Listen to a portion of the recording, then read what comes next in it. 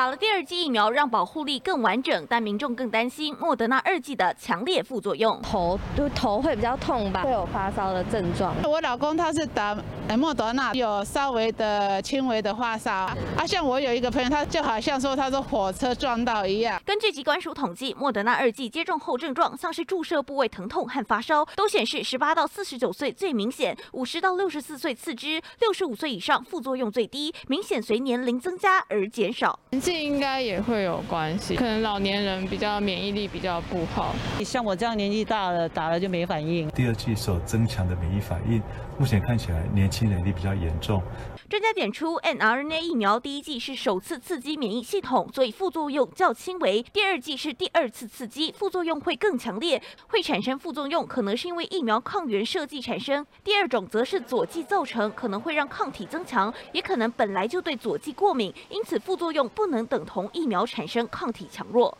不见得说你一定要在副作用的产生的情况越大，所以才会造成比较强的免疫反应，或者是免疫的效果比较好，这并没有绝对的正相关。医师认为，年轻人副作用确实会比较强烈，但不代表副作用越强，抗体产生就更好。也提醒民众，如果副作用持续超过太久，一定要及时就医。记者杨世旭、曹家元台北采访报道。